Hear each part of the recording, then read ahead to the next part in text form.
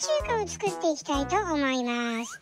まずはね冷やし中華に乗っける蒸し鶏を作っていきたいと思います。蒸し鶏はねこれ胸肉を使いますよ。冷やし中華らしくさっぱりとした味わいの胸肉を使っていきたいと思います。まずはね皮をちょっと取っていきますね。そしたらちょっと筋のある部分ここに包丁を入れていきましょう。これね後で電子レンジでチンして作る蒸し鶏なんですよ。なのでね筋の部分がね破裂しないようにちょっと包丁を入れていきますよ。そしたらねこの表面に塩と胡椒を振ります。これ下味ですね。鶏の胸肉に下味をしていきます。レンジでチンするだけなんでねこれは下味をしないと味が入りませんからね下味をしていきますよ。そしたら耐熱の器に乗っけていきます。れでねこの周りに少し水を入れますね。水を入れて軽くふんわりラップをして電子レンジに入れます。600ワットでだいたい9分ぐらいですね。はいそしたら中まできちんと火が通ってるんでこれ粗熱を取ってから冷蔵庫に入れてギュッと締めます。そうするとね蒸し鶏ができますよ。これね冷やし中華以外にもねバンバンジーとかにも使えるんでぜひ作ってみてください。こんな感じで薄切りにしていきました。はい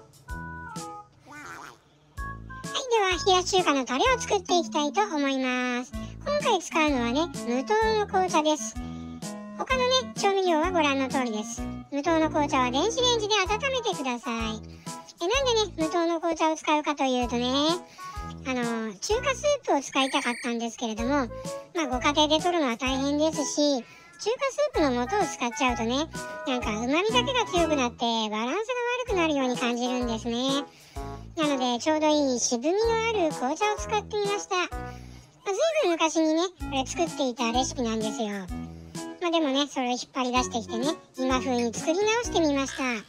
これとっても美味しいんでね是非試してみてください。はいこれはね温めた紅茶に調味料を全部入れてかき混ぜるだけです。これねしっかりと砂糖を溶かすようにねよーく混ぜてください。しっかり混ぜてくださいね。そしたら香り付けのごま油最後に入れますよ。そうするとね一気に冷やし中華の感じがパーンと出てきますからね。はいでは作ったタレはこれ別の容器に入れ替えまして冷蔵庫でキンキンに冷やしておきましょう。冷やし中華のタレは冷たい方が美味しいですもんね。これは冷蔵庫で一旦冷やします。はいでは麺を茹でていきましょう。これねスーパーなんかでよく売ってる、ま、100円するかしないかぐらいのね生麺を使いますよ。うちは2人分なんでね2玉使います。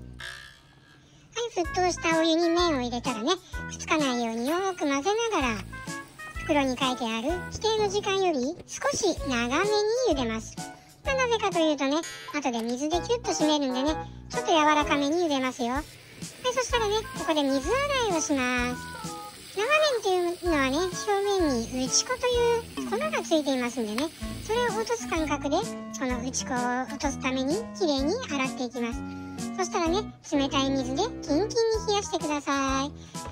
そして水をきちんと切りましょう。タレが薄まっちゃいますからね。それ伸びないようにねごま油でコーティングしていきます。ごま油を入れたらこれよく混ぜてくださいね。はいこれでねあとは盛り付けるだけですんでねお皿を用意しますよ。はいまずお皿を用意したらうちではサラダを乗っけます。そしたら麺を乗っけてねまあ好きな具材を乗っけていきます。まあきゅうりは必要ですよね。そしたらさっき切った蒸し鶏をいっぱい乗っけちゃいます。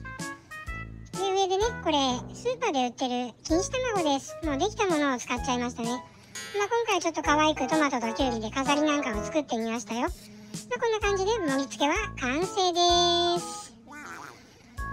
夏の暑い時期にねさっぱりと食べたい冷やし中華。今回は紅茶をベースに冷やし中華のタレを作ってみました。